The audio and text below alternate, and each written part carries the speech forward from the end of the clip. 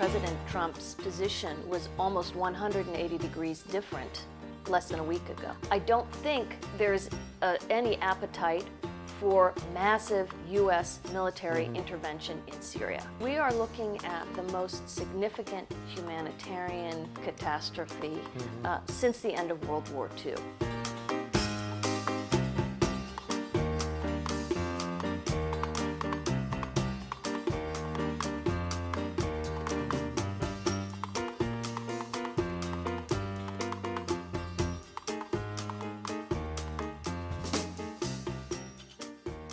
Hi, this is uh, Paul Salem from the Middle East Institute, and welcome uh, to this edition of Vantage Point. I'm uh, very happy to have with me a good colleague and friend, Mona Yacoubian, uh, to talk about issues of uh, refugees, internally displaced needs, humanitarian aid, stabilization aid, reconstruction, uh, particularly in Syria and Iraq, but we'll mention sort of the Middle East more broadly. Uh, Mona is, uh, until very recently, was the Deputy Assistant Administrator in the Middle East Bureau at USAID, where she had responsibility for USAID work in Iraq, Syria, Jordan, and Lebanon. Uh, previous to that, uh, she was at the Stimson Center, a senior advisor working on issues relating to peace building. She was also heading the Lebanon Working Group there, and she's worked also previously at the U.S. Institute of Peace and uh, at the State Department's uh, Bureau of Intelligence and Research. Mona, thank you very much. Uh, nice to have me. you. Thanks for having me, Paul. Uh, uh, today, uh, we're going to be talking about, as I mentioned, refugees, IDPs, mm. their needs, what the international community is doing, and what the U.S. has been doing and might be doing. But let's let's pause for a moment with the developments, mm. the recent developments, the U.S. strikes in Syria, uh, and sort of more escalation after three or four years of certain patterns of U.S. policy mm. in Syria, we seem to be uh, having a change. How do you view that development in general, mm-hmm. and how do you view its potential impact on either escalating the war in Syria or de-escalating it? So it's still too early, I think, to tell exactly where it's going to take us. Mm-hmm. Uh, I think the attack itself, this heinous attack in which more than 85 people, including women and children, were, ki- were killed by what it appears to be sarin gas, mm-hmm. um, underscores really the horrific circumstances under which civilians are living in Syria, and it ties directly mm-hmm. to what we're going to be talking about displacement and, and refugee flows. Um, in my opinion, uh, the strike that the U.S. undertook was essential mm-hmm. uh, in order to address this issue of the use of chemical weapons. What will happen next, though, I think is a big question. Well, let's pause there. I mean, mm. how much have chemical weapons? I mean, if you die by chemical weapons or die by a barrel bomb or something else, you know, there's still a lot of, of death. Course. How do you, given you know you're you know working with refugees and IDPs and so on, how much were chemical weapons an issue in that? And if we only react when chemical weapons are used, mm. but it's okay to kill by other means, are we in a new place uh, regarding those issues? Well, I do think chemical weapons are treated differently. Mm-hmm. Um, understanding the, the, the, level of, of, of, civilian casualties in Syria, it's 400,000 mm-hmm. uh, at least, uh, is, is horrific. Uh, but there is an international norm that was established after World War I mm-hmm. regarding the use of or not to use chemical weapons in conflict. And this is why, this is what I think precipitated U.S. action. Mm-hmm. What we need to see going forward is does it have a deterrent effect, number one? Number two, can the attack actually be leveraged to change the calculus of at least Russia, perhaps, mm-hmm. mm-hmm. as the patron of the Syrian regime, and do more to perhaps ultimately de escalate the conflict by forcing the regime to, to the negotiating mm-hmm. table? Well, let me ask about that. I mean, you talked about the international norm which I think is international law as well in terms of not using chemical weapons. There was an emerging international norm of responsibility to protect, so called R2P, mm-hmm. uh, which had some traction in Bosnia and a few other, other actions. Rwanda was a time when there was a lot of sort of agonizing about that, but it happened quicker. Uh, and the Obama administration sort of ended up not acting mm. uh, uh, in protection of civilians. It acted in Libya, yes. but did not act in Syria. Do you see anything in President Trump's approach, his statements about kids and babies and so on, that goes beyond chemical weapons into a little bit of R2P? That I think is hard to know, particularly since President Trump's position was almost 180 degrees different less than a week ago That's true. with respect to, to uh, the Assad regime and almost an acquiescence that the regime is here to stay and the focus is countering uh, ISIS in Syria. So I don't know um, uh, where we're going to go with this, although I don't think there's uh, any appetite for massive U.S. military intervention in Syria. And nor do I think that's the right way to go. Mm-hmm. To my mind, what really needs to happen is we need to try to leverage these strikes as a way to de escalate the conflict, to, be, to bring this conflict to a close because of the And, horrific and to a close, you mean to an end or to de escalate at least the bloodshed? Because there might be two different things. They may be, um, and, and it, it's hard to know. At a minimum, we have to de-escalate Mm-hmm. the bloodshed because of the suffering, because of the level of suffering that, that Syrians are experiencing, and the destabilization, frankly, that has occurred in the region and, and well beyond, as we both Mm. and we'll know. certainly get to that. Yes, exactly. Uh, well, let's step back now, and if you'd give us uh, and our listeners and viewers sort of a map of the extent of refugees, IDPs, Syria and Iraq, but a bit more broadly. What are the numbers, uh, and how do you, you know, what is the map, sort of? Sure. I mean, we are looking at the most significant humanitarian catastrophe Mm-hmm. uh, since the end of World War II.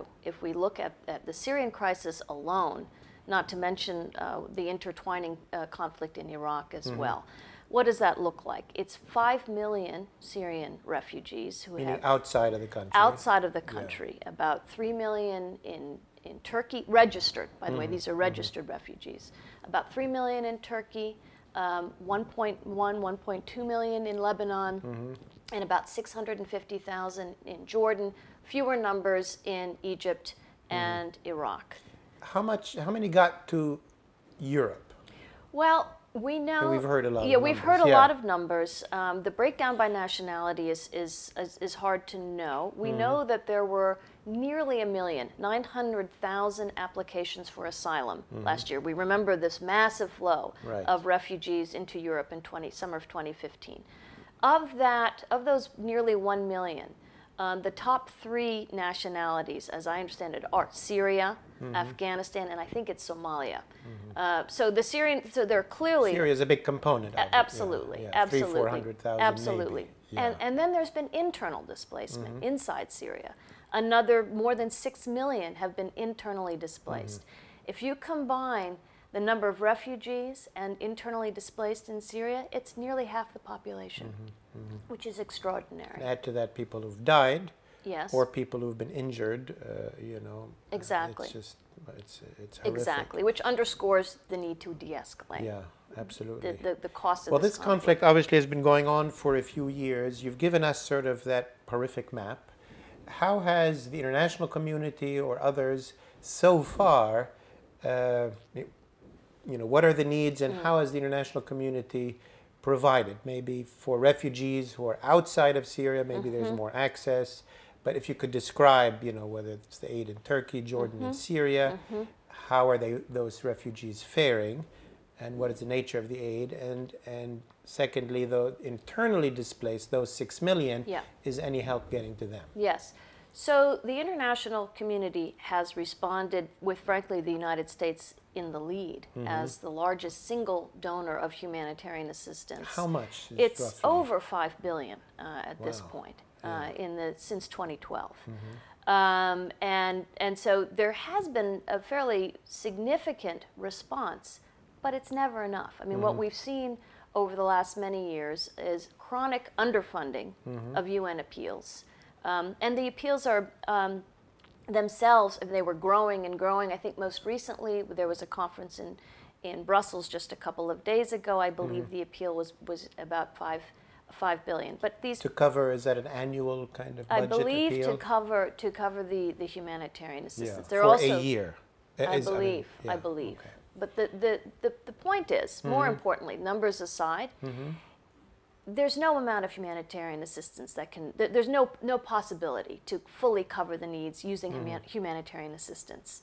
Um, what we've learned, I think, from the conflict in Syria and elsewhere is that the humanitarian assistance architecture, Mm-hmm. as designed by the UN, is really unfortunately outdated Mm-hmm. and, and not sufficient to the task that we see. Not just what does that in- mean? I mean, Well, the it- humanitarian assistance is what? Water, food, blankets, and tents? Yes, it's exactly. It's, Roughly it's kind of- emergency assistance. These are the first responders, if you will, uh, typically to a natural disaster, but also in conflict, etc.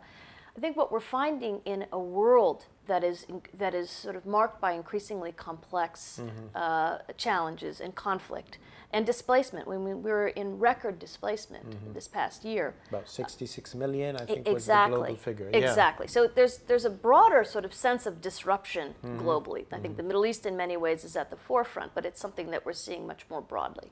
What we're beginning to see is that these humanitarian budgets, particularly in the case of protracted conflicts, so Syria is now, the Syrian conflict is now in its seventh year. Mm-hmm. We're no longer in an emergency with Mm-hmm. Syria. You can't simply food basket your way through this. Mm-hmm. And that's where um, the assistance community is looking to pioneer new ways in which we do a better job of bridging this sort of short-term humanitarian emergency assistance with longer-term development And assistance. what does that mean? I mean, take refugees in Lebanon, let's say. Exactly, perfect example. Mm-hmm. So, what we're seeing with the refugees, there's a couple of characteristics that we should understand. Number mm-hmm. one, they are largely not in camps. Mm-hmm. 85% of Syrian refugees are not in camps. In, in Lebanon or in or in? Lebanon, none of them are in formal camps. None of them are. They mm-hmm. are. Some of them are in are in informal tented settlements that you mm-hmm. see. If you go to Lebanon, you see them mm-hmm. all around. Certainly in the Bekaa and elsewhere. But they are large. So they're largely living in host communities. Well, that has a particular challenge to it. Um, Lebanon has the highest number of refugees per capita in the world. It would be the equivalent of anywhere between 60 and 80 million refugees descending on the United States and living in our communities. Yeah, for five, six years, For- for, starters. Exactly. Yeah. And so what does that look like? Well, it's it's all this these services, Mm-hmm. whether it's water or garbage collection or schools or medical health, all the So things. is then the aid, let's take maybe Lebanon as an example, the international community trying to channel aid to sort of boost up the Lebanese governments and local authorities' ability to deliver standard services to people. You know, that's refugees right. are residents at this point. Well, In a way. In a way, Yeah. But there, it's a little, as you know, it's a little more complicated than that, right? Because they're certainly not residents. Their Hmm. legal status, particularly in Lebanon, is very precarious. Mm-hmm. But the response has been is, has been several. There's been several ways in which the community, the international community, has responded. One is, of course, the the humanitarian assistance that we're talking about, which Mm-hmm. there has been massive injections of humanitarian assistance to Lebanon, which, by the way, has had um, an effect, it has sort of been a, an injection into the local economy as well. So, for example, the World Food Program, which provides the uh, hu- food cash assistance for refugees to be able to buy food.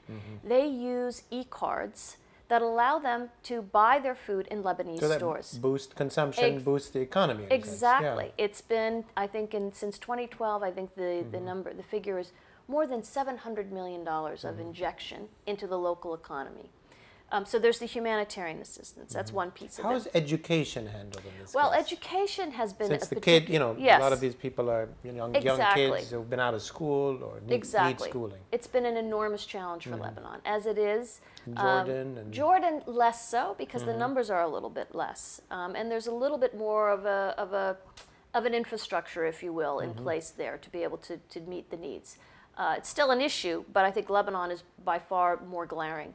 So, what what has been the response in Lebanon to that? In from the U.S. perspective, we of course provide development assistance to Lebanon, much of it in the education sector. So we began to reorient our assistance in some ways to help meet the need. What did that look like? Um, rehabilitating and improving existing schools is a start. Um, uh, providing psychosocial training to teachers to help with students, Syrian students and others who are suffering trauma. Improving the curriculum so that we can improve retention. Um, the Lebanese have been quite generous by in opening their schools to Syrian students. But as you know, the public education system in Lebanon, well before the Syrian conflict, um, was struggling and was in- Underfunded. and yeah. underfunded and, and in need of a great deal of reform. So this has accelerated those efforts. Um, there are still many issues in terms of um, teachers' salaries. There, you often have schools teaching uh, in, in double two shifts, shifts exactly, and yeah. even three shifts sometimes. And there are deeper issues with the ways in which Syrian Yeah, st- children are being treated in schools. I think the biggest problem in Lebanon, though, that we're seeing is child labor. Mm-hmm. And the reason we're seeing such an issue with child labor is because of the difficulty that refugees have in order to work in Lebanon.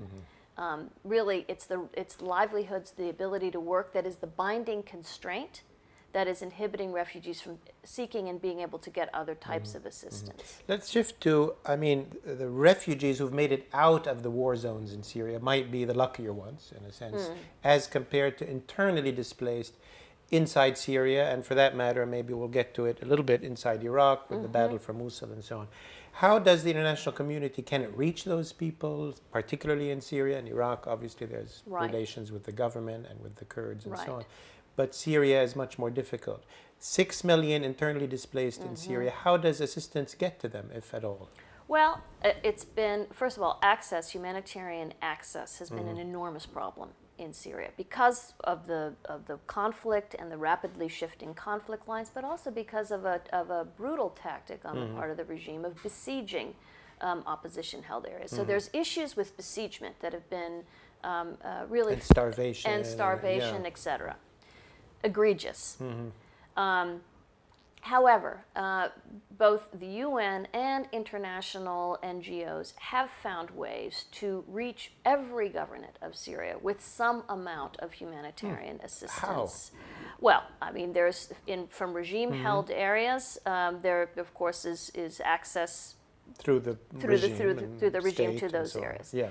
But there's also been cross border, a fairly uh, rigorous cross border uh, uh, regime in which there's assistance that's coming into Syria from both Turkey and Jordan.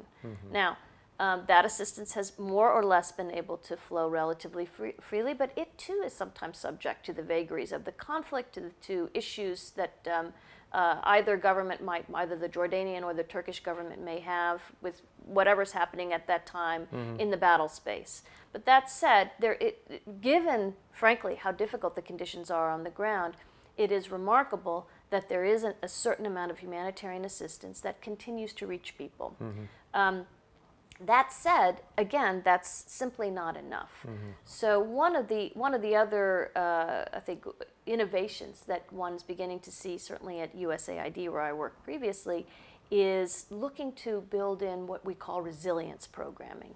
And what that's trying to do is help Syrians who, by the way, would prefer to stay in their mm-hmm. country if they can, if mm-hmm. they're not subject to uh, heinous, uh, you know, uh, chemical weapons attacks, etc. If yeah. Mm-hmm. they can stay, that's the preference. So in areas where the conflict has receded, um, uh, USAID is working to um, bring together both humanitarian funding and development funding to do what's called resilience programming. Mm-hmm. What does that look like? It's doing things like helping to reinvigorate the agricultural sector, Mm-hmm. which, by the way, also contributes to food security. It's revitalizing markets. Mm-hmm. So working in a way like local development with Exactly, very there. small scale, and doing it in ways that allow people basically to work, to feed themselves, and to stay there. Increasingly, as this, if this is able to continue, I think education is becoming another priority for Syrian Mm-hmm. In children. this resilience. Uh, Exa- in this in this resilience Yeah, uh, trend because there are now uh, I think it's one and three quarter million Syrian children out of school inside, Mm-hmm. Inside Syria. Syria. Inside Yeah. Syria. This is from a, in a once middle income country Yeah, with yeah.